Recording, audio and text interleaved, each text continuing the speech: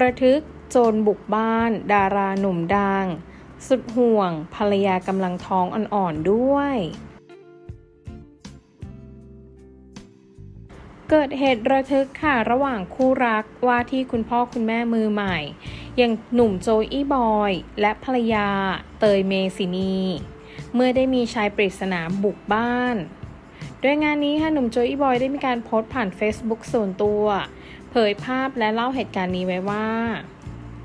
พ่อลูกอ่อนคืนก่อนครับ ผมกับภรรยานอนดูทีวีอยู่ในห้องรับแขกชั้นล่าง จนพลอยหลับไปทั้งคู่ เป็นแบบที่เราทำอยู่เป็นประจ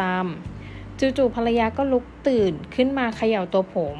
พูดเสียงตื่นเต้นเบาๆว่า มีคนอยู่หน้าประตู ผมก็เลยตื่นขึ้นมาพร้อมกับตะโกนว่าบอย บอยหรอ ใจแวบแรกคือคิดว่าเป็นพี่บอยคนขับรถ แต่อีกแวบมองนาฬิกาคือตีสามกว่า บอยมันจะมาทำไมวะ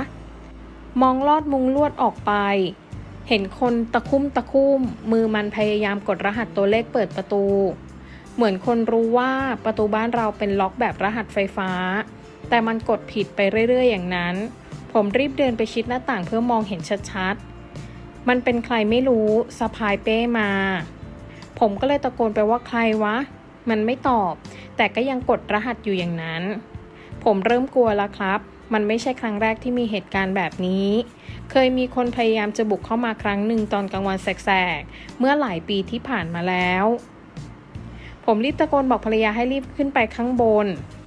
แล้วผมก็เลยตะโกนออกไปทางหน้าประตูว่า ออกไปนี่บ้านกู มันยังคงเงียบและจะเข้าบ้านผมให้ได้ ผมตัดสินใจวิ่งตามภรรยาขึ้นไปชั้นสองและให้โทรแจ้งตำรวจ สรุปมันเป็นใครก็ไม่รู้ มาทำอะไร มีหลายคำถามมาก หมาก็เล็กเมียก็ท้อง คงต้องหาทางป้องกันครอบครัวแล้วกูปอลอยังไม่อยากแจ้งความนะ เผื่อมึงผ่านมาเห็น รีบอินบ็อกมาเจราจากับกูนะ ซึ่งงานนี้ค่ะเหล่าบรรดาเพื่อนพี่น้องและแฟนคลับนั้น ต่างเข้าไปแสดงความห่วงใยให้กับครอบครัวของโจอีบอยกันเพียบเลยล่ะค่ะ